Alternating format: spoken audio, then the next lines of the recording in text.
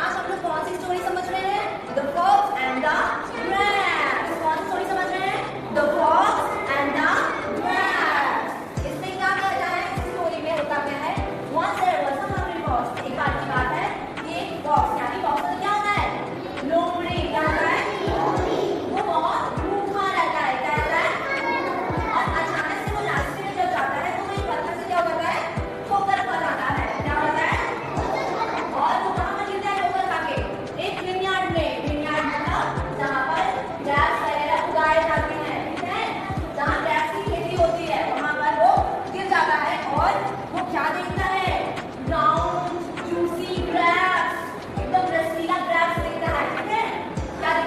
Thank you.